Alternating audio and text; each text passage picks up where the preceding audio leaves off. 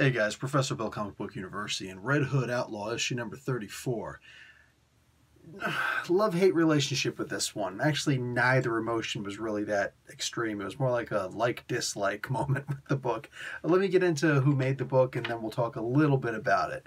Uh, Prince of Gotham Part 3, Scott Lobdell does the words, Pete Woods does the pictures, uh, Rex Lokus on colors, ALW's Troy Peteri on uh, letters and Cully Hamner doing the cover with Yasmine Putri doing the variant cover. All right.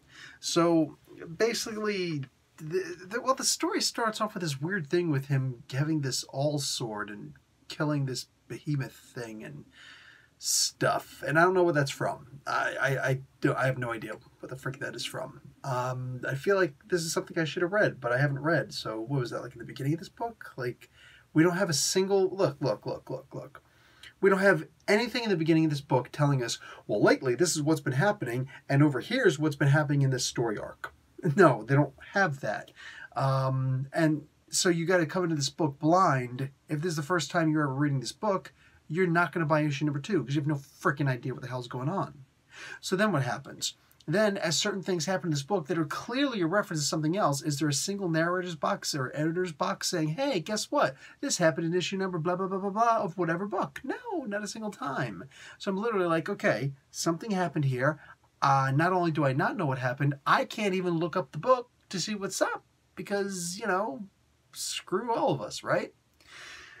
This book could have been a lot better just with those two things added. The bit in the beginning and a little bit, you know, like just a blurb for crying out loud. And then the um, the references to where this story happened, where this took place, what book, so that I can consider going back and grabbing that book or that trade paperback and making you even more money. But no, no, doesn't seem like you're interested in that. That's a shame. That's a real freaking shame. Uh, as far as the second half of this book, for the most part, wow Jason Todd woke. I have no idea why he was in this. You know why he's in Paris. I have no idea why he, he walks into Paris. He says "Hola," like, dude, what are you, Wonder Woman? Like Wonder Woman says "Hola." you know what I'm saying? Like, like, what are you, what are you doing? What is this? What's this "Hola" nonsense? Anyway, uh, I do like how he was able to turn the tables on all these bad guys, even though a lot of them were really silly. I liked it. like it, it just felt like one of those moments where it's like, you know, you think that you got all the cards. Turns out, all you got is the freaking instructions for how to play cards. I have all the cards, mother fathead. like, that was great. I loved that. This was a, you know, like I'm glad that the the second part of this book was in fact the second part of this book because I was lost with everything else. Plus, it looks like we are going to have the Penguin coming out soon.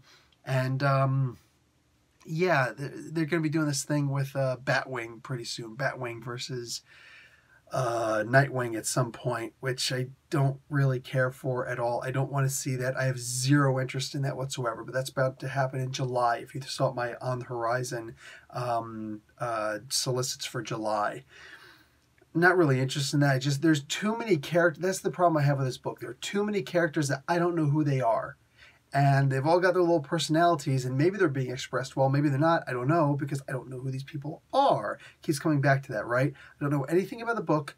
I don't know anything about what happened before in the book. I don't understand where such and such story came from, and I don't know who these people are in the book. So I don't know why Jason Todd is in this one particular part of the world in this book there's too many unknown factors right now.